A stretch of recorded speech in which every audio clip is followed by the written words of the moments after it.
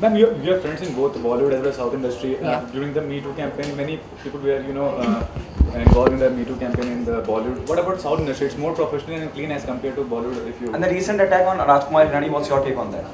So I personally feel like uh, it's not a Me Too is not a Bollywood problem first of all, nor is it a South problem. it's a- it's a It's a world problem. it's a universal universal problem. Uh, in films, I guess film personalities or celebrities, uh, it's easier to pinpoint at them because people know them.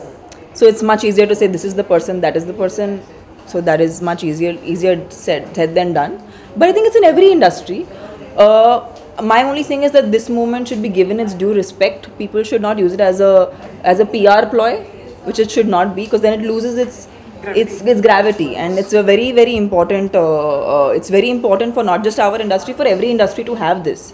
But it has to be respected and dealt with in the right fashion, and people need to respect it. People need to even respect the people who've been accused in the case because till and nothing is proven, nothing is done. I think that respect should be maintained.